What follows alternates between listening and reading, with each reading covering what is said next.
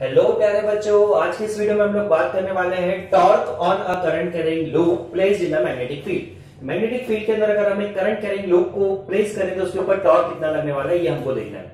ये हमारे लिए इंपॉर्टेंट क्यों है? ये जानना हमारे लिए इसलिए इंपॉर्टेंट है क्योंकि देखिए, जब भी हम किसी कॉइल को मैग्नेटिक फ़ील्ड में रखेंगे तो ये क्या करेगी? यहाँ पर रोटेट करेगी टॉर्क की वजह से। और अगर ये कॉइल यहाँ पर रोटेट कर रही तो क्या हम इससे अपना काम निकलवा सकते हैं? क्या बिल्कुल निकलवा सकते हैं? हम इससे इलेक्ट्रिक मोटर बना सकते हैं। और जस्ट आप इमेजिन कीजिए कि बिना इलेक्ट्रिक मोटर के हमारी जो लाइफ स्टाइल है हमारा जो वर्ल्ड है वो कैसा होगा, ठीक है? तो यहाँ पर इसी कॉन्सेप्ट की मदद से क्या कर सकते हैं? इलेक्ट्रिक मोटर को बना सकते हैं। तो चलिए सबसे पहले समझते हैं कि इसके ऊपर टॉर्क क्यों लगी। पहली चीज़ तो यहाँ पर देखिए, एक लूप है हमारे पास एबीसीडी रेक्टेंगुलर लूप इसके अंदर आई करंट फ्लो कर रहा है। इसकी लेंथ है एल इसकी ब्रेथ कितनी है बी इसको हमने इस मैग्नेटिक फ़ील्ड के अंदर रखा। किस तरह से रखा? मैग्नेटिक फ़ील्ड लग रही है आपकी कैसी हॉरिजॉन्टल डायरेक्शन में, ठीक है? मैग्नेटिक फ़ील्ड आपकी कहाँ लग रही है? हॉरिजॉन्टल डायरेक्शन में। और हमने क्या रखा है? हमने इसका ये वाला जो एंड है, कौन सा वाला आपका? ए बी वाला ए डी वाला जो एंड है, उसको हमने क्या रखा है? हमारी मैग्नेटिक फ़ील्ड के साथ बिल्कुल पैरेलल ठीक है? इतना काम हम लोगों ने किया। अब हमको क्या निकालना है कि इसके हर एक पार्ट पर कितनी फोर्स लगी? फोर्स क्यों लगेगी? देखिए, इसका जो ए बी सेगमेंट है, वो अपने आप में एक कंडक्टर है। और जब भी हम किसी कंडक्टर को एक मैग्नेटिक फ़ील्ड के अंदर रखते हैं तो उसके ऊपर क्या लगती है? फोर्स लगती है। अगर उसके अंदर क्या हो रहा है? कुछ करंट फ्लो कर रहा है। वो फोर्स की वैल्यू कितनी होती है? फोर्स का मैग्नीट्यूड कितना होता है आपका? एफ़ इज़ इक्वल टू होता है आपका I L B sine theta ठीक है? यहाँ पर डायरेक्शन की बात हम लोग अलग से करेंगे। तो सबसे पहले क्या करता हूँ मैं इस एडी के ऊपर लगने वाली फोर्स निकालू? तो यहाँ पर देखिए आपका मैग्नेटिक फ़ील्ड इधर लग रहा है, ठीक है? एडी के अंदर करंट इस तरफ़ फ्लो कर रहा है। तो करंट और मैग्नेटिक फ़ील्ड के बीच का एंगल कितना है? 180 डिग्री ध्यान रखिएगा, अभी हमने इसको कैसा रखा है? इस तरह से, ठीक है?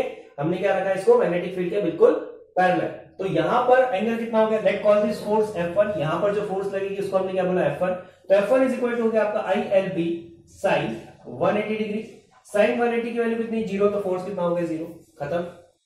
अब बात करते हैं इस वाले सेगमेंट में फोर्स की। ठीक है? इस वाले सेगमेंट में कितना होगा? पहले हम इन दोनों का देखते हैं, फिर इन दोनों का देखते हैं। तो यहाँ पर देखिए, यहाँ फोर्स कितना होगा आपका? अगेन करंट देखिए, ऐसा जा रहा है मैग्नेटिक फ़ील्ड ऐसे लग रही मतलब थीटा हमारा कितना है यहाँ पर? ज़ीरो तो late call this force F2 यहाँ जो फोर्स लगेगी, उसको हमने क्या बोला? F2 F2 is equal to I L B and L B sine zero sorry L नहीं आएगा यहाँ पर. एल फॉर क्या होता है? यहाँ पर लेंथ तो इसकी जो लेंथ है ना, ये इसकी ए बी की लेंथ कितनी है? एल बीसी की कितनी होगी? बी स्मॉल पी अभी हम लोगों ने लिखा था, इसकी ब्रेथ कितनी है बी तो यहाँ पर कितना आएगा आपका बी तो ये लिखा हमने, देखो बी साइन ज़ीरो। एंगल कितना बन रहा है? ज़ीरो, साइन ज़ीरो कितना होता है? ज़ीरो। अगेन यहाँ पर फोर्स कितना होगा? ज़ीरो। मतलब कि इन दोनों सेक्शन के ऊपर कोई फोर्स नहीं लग रहा है इनिशियल नाउ अब बात करते हैं ये वाले सेगमेंट की। ठीक है? इस सेगमेंट में नेट से फोर्स कितना है आपका? एफ़ थ्री फटाफट से बताओ यहाँ पर फोर्स कितना लगेगा मैग्नेटिक फ़ील्ड ऐसी लग रही है। करंट ऐसा जा रहा है। तो फ्लेमिंग का left hand rule left hand rule क्या बोलता है आपका? कि अगर ये मैग्नेटिक फ़ील्ड की डायरेक्शन है, ये करंट की डायरेक्शन है तो थंब आपको किसकी इंफॉर्मेशन देगा? थंब आपको फोर्स की इन्फॉर्मेशन देगा।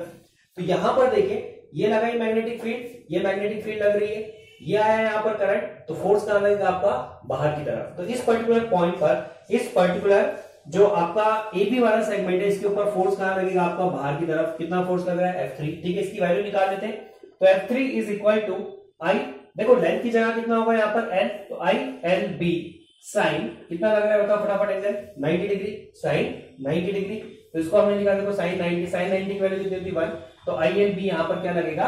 फोर्स लगेगा डायरेक्शन हम लोगों ने बता दी ना अब आते हैं अपन इस सी डी पे। अगेन देखिए करंट और मैग्नेटिक फ़ील्ड दोनों एक दूसरे से क्या लेते हैं? 90 डिग्री ले लिया लेफ़्ट हैंड ये जा रही है आपकी मैग्नेटिक फ़ील्ड ये जा रहा है आपका ऊपर करंट तो देखिए, मेरा थंब किधर जा रहा है? बोर्ड के अंदर। बोर्ड के अंदर। तो बोर्ड के अंदर जा रहा है मतलब ऐसी अंदर की तरफ़ यहाँ पर क्या लग रही let call this force F4 ठीक है? तो यहाँ पर F4 का मैग्नीट्यूड बता दो फटाफट से। आई एल बी ठीक है? साइन कितना हो गया आपका? 90 साइन 90 की वैल्यू कितनी हो गई अगेन वन तो ये कितना हो गया आपका? आई एल बी सिंपल तो एक फोर्स बाहर की तरफ़ लग रही है, यहाँ पर F3 ठीक है? एक फोर्स इस एंड पर कहा लग रही है? अंदर की तरफ़। और हमको पता है कि जब भी दो इक्वल एंड अपोजिट फोर्स किसी ऑब्जेक्ट के ऊपर लगे तो वो क्या होती है? कपल होती है। और कपल क्या प्रोड्यूस करता है? टॉर्क मतलब कि जब ये फोर्स लग रही है ना, जब ये फोर्स यहाँ पर लग रही है, ठीक है? एबी पे जो फोर्स लग रही है कैसे लग रही है? बाहर की तरफ़, ये। और बीसी पे जो फोर्स लग रही है वो कहा लग रही है? देखो, ऐसी अंदर की तरफ़। तो ये जो फोर्स है, ये इसको रेड वाला जो है, ये इसको ऐसा घुमाएगा और लेफ़्ट वाला इसको ऐसा घुमाएगा।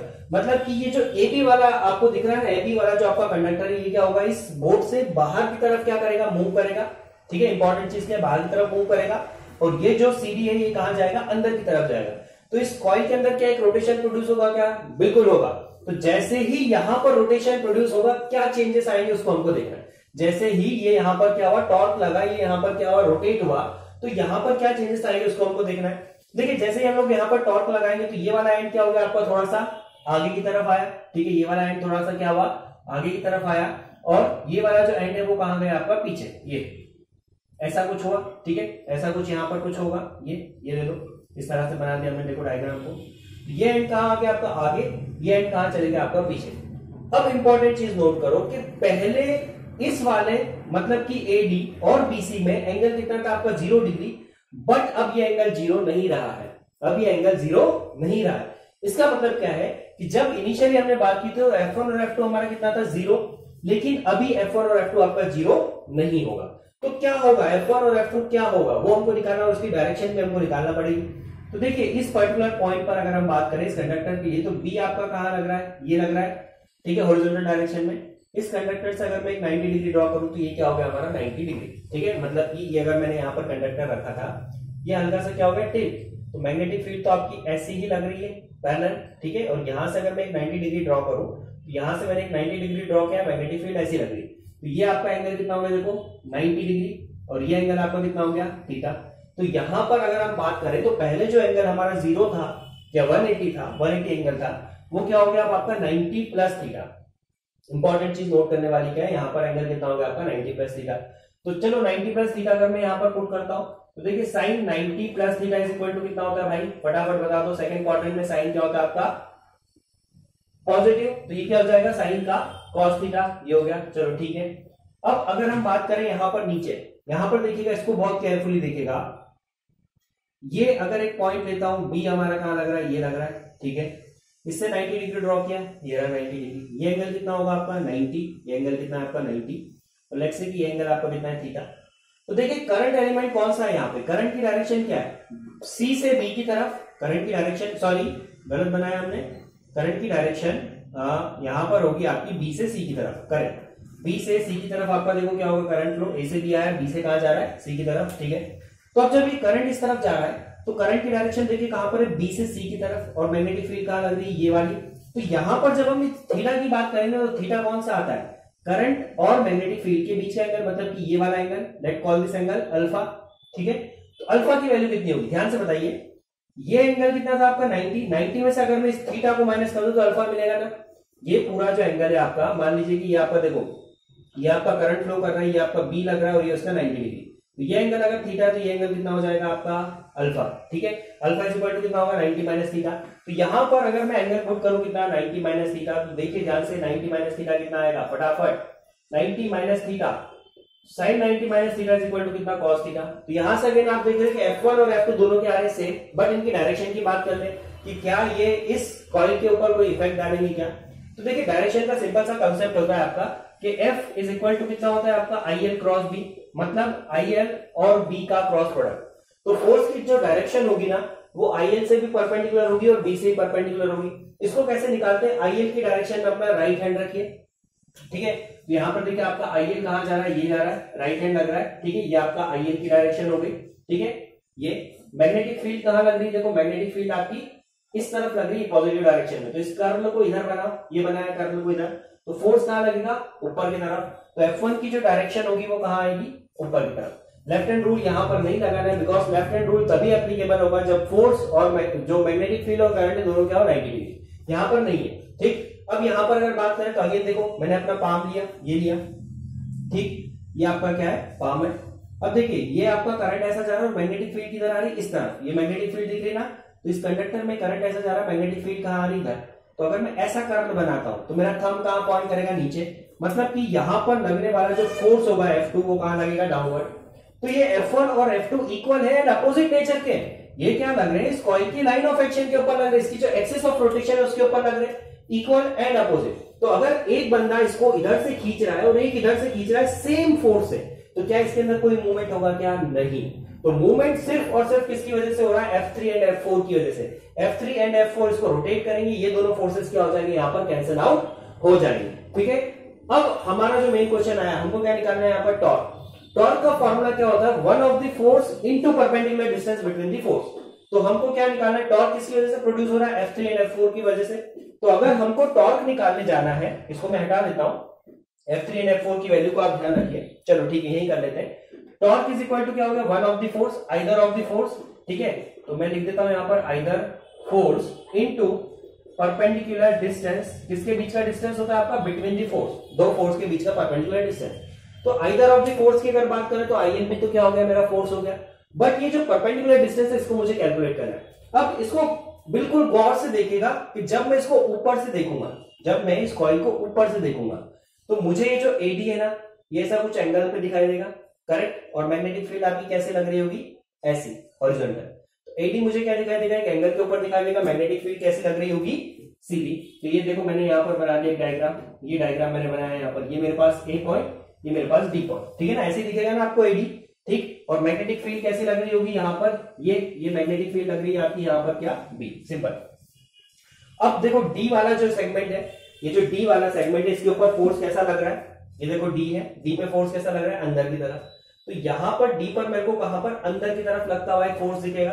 तो मैं इसको ऐसा बना देता हूँ। ये डी के ऊपर एक फोर्स लग रहा है, अंदर की तरफ़ लगता हुआ। ठीक है? क्या था इस फोर्स की वैल्यू एफ़ फोर तो ये लगा आपका एफ़ फोर सिमिलरली ए के ऊपर देखिए, बाहर की तरफ़ फोर्स दिखेगा आपको, बाहर की तरफ़। तो बाहर की तरफ़ लग रहा है तो मैं ए पे इस तरह से एक फोर्स बना दिया एफ़ ठीक है? नाउ मुझे क्या निकालना है? परपेंडिकुलर डिस्टेंस परपेंडिकुलर डिस्टेंस क्या होता है? दो फोर्स के लाइन ऑफ़ एक्शन के बीच का डिस्टेंस तो अगर मेरे को इन दोनों के लाइन ऑफ़ एक्शन की बात करूँ तो ये इसका लाइन ऑफ़ एक्शन है और ये इसका है। तो इनके बीच का ये जो परपेंडिकुलर डिस्टेंस होगा ना, ये वाला, ये। इसको लेट कॉल दी एम तो ये जो डी एम है ना, ये हम लोगों को यहाँ पर क्या करना है? कैलकुलेट करना है। ठीक है? डीएम हमको यहाँ पर क्या करना है? कैलकुलेट करना है। अब यहाँ पर हम एक छोटा सा काम करते हैं कि मैं इस एडी के परपेंडिकुलर ड्रॉ कर लेता हूँ और इस परपेंडिकुलर के साथ जो बी का एंगल बन रहा है, इसको मैं क्या बोल देता हूँ? थीटा यहाँ पर जो थीटा एंगल है, वो बी और हमारी जो कॉइल है उससे परपेंडिकुलर के बीच का एंगल है. Let call this perpendicular normal N O N ठीक है? अब ध्यान से समझो, ये जो बी है और ये जो फोर्स है, ये जो बी है और ये वाली जो आपकी लाइन ऑफ़ एक्शन है फोर्स की, ये दोनों एक दूसरे के परपेंडिकुलर है ना? उसके बाद देखिए, जो एडी है और ये जो ओ एन है, ये आपस में क्या है? परपेंडिकुलर तो अगर ये वाला एंगल आपका कितना है? थीटा है तो ये एंगल भी आपका कितना हो गया? थीटा हो गया? हमको क्या निकालना है? परपेंडिकुलर डिस्टेंस परपेंडिकुलर डिस्टेंस क्या है हमारी? एम डी तो यहाँ पर अगर मैं इस ट्रायंगल के अंदर साइन थीटा लगाऊँ तो sine theta is equal to क्या होगा? परपेंडिकुलर मतलब कि एम डी अपॉन में हाइपोटेनियस हाइपोटेनियस मतलब क्या? एडी और एडी क्या है? एडी क्या है? एडी इस कॉइल की ब्रिथ है, जिसको हम क्या लिख सकते हैं? बी तो therefore B sine theta is equal to कितना हो गया आपका? एमडी एमडी की वैल्यू कितनी आ गई आपके पास? B sine theta perpendicular distance आ गई, एक फोर्स आ गई। हम इस टॉर्क के फॉर्मूले में इसको पुट करते हैं तो हमको यहाँ पर क्या मिलने वाला है? टॉर्क का एक्सप्रेशन तो करते थे जरा देखो इसको पुट करता हूँ मैं फटाफट से। तो टॉर्क इज़ इक्वल टू कितना हो गया? देखो torque is equal to I L B ठीक है? इनटू में perpendicular distance one of the force मतलब I L B perpendicular distance कितना है यहाँ पर? B sine theta now L into B कितना होता है? Length into breadth length into breadth तो एल इंटू बी को मैं यहाँ पर ए लिख देता हूँ। ये क्या हो गया आपका? ए बी साइन थीटा अब इंपॉर्टेंट चीज़ यहाँ पर देखिए कि हमने यहाँ पर करा क्या। ठीक है? ये जो थीटा है ना, इसके बारे में समझिए। थीटा क्या आपका? नॉर्मल और बी के बीच का एंगल और हमको पता है कि किसी भी सरफेस से जो नॉर्मल होता है ना, उस डायरेक्शन में उसका क्या आता है? एरिया वेक्टर तो अगर मैं इस एक्सप्रेशन को वेक्टर फॉर्म में रिप्रेजेंट करना चाहूँ तो मैं इसको ऐसा लिख दू क्या? I A cross B simple है ना? ए वेक्टर मतलब कि एरिया वेक्टर और बी ठीक है? तो एरिया वेक्टर और बी के बीच का ही तो एंगल थीटा है ना तो ये जो ए बी साइन थीटा है, इसको हम क्या लिख सकते हैं? ए क्रॉस बी तो ये हमारा क्या हुआ यहाँ पर? टॉर्क का फॉर्मूला ठीक है?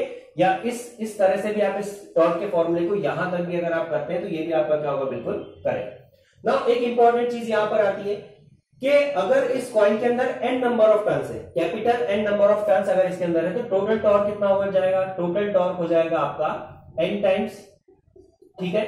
टोटल टॉर्क कितना हो जाएगा? एन टाइम्स तो एक टर्न के लिए टॉर्क लग रहा था I A B sine theta N number of turns के लिए कितना हो जाएगा? B I N A sine theta मैंने रीअरेंज करके लिखा बिकॉज़ ये पढ़ने में आसान है, बिना साइन थीटा हम इसको कैसे याद रखेंगे? टॉर्क इज़ इक्वल टू कितना होगा? बिना साइन थीटा कुछ यहाँ से हमको इंपॉर्टेंट की पॉइंट्स लेकर चलना है। आप इसको नोट करते रहे, रहा कीजिए। जो जो मैं बोर्ड पर कर रहा हूँ, आप इसको पॉज करके नोट कर लीजिए बिकॉज़ आप इसको जब तक नोट नहीं करेंगे, आपको ये प्रॉपरली समझ नहीं आएगा।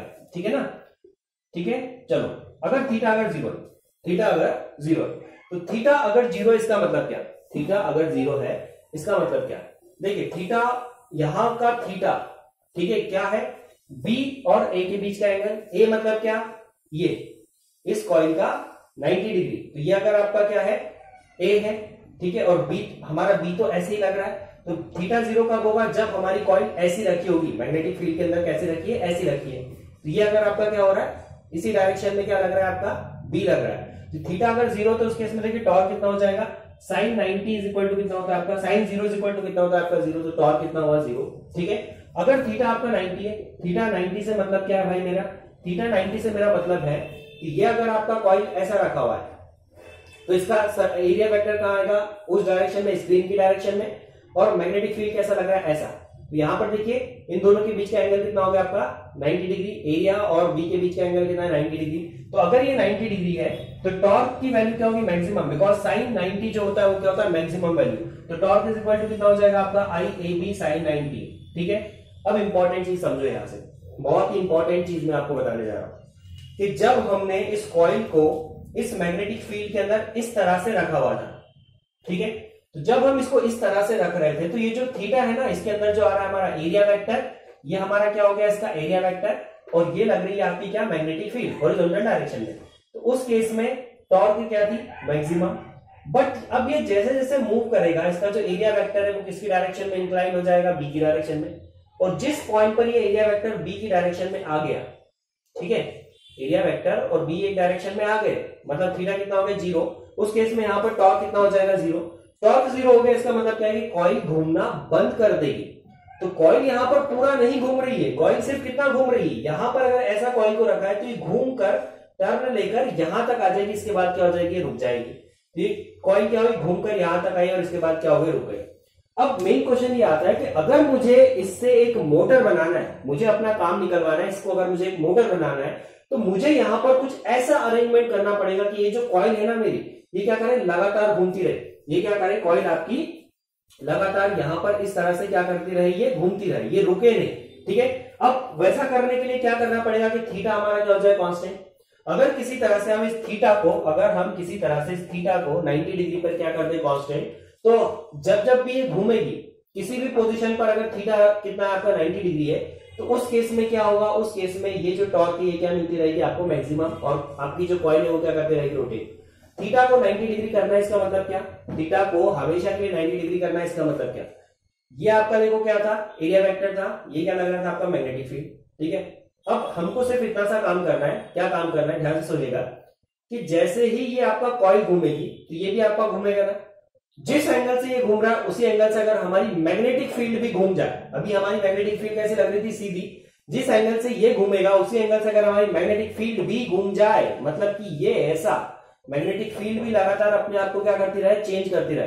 तो हम ये चीज़ को यहाँ पर क्या कर सकते हैं? अचीव कर सकते हैं। अब ये मैग्नेटिक फ़ील्ड को अगर चेंज करना है, इसको अचीव करना है तो इसके लिए हमको क्या करना पड़ेगी? यहाँ पर एक रेडियल फ़ील्ड जो है वो क्रिएट करना पड़ेगी। उसको हम लोग पढ़ेंगे जब हम गैल्वेनोमीटर पढ़ेंगे इलेक्ट्रिक मोटर पढ़ेंगे।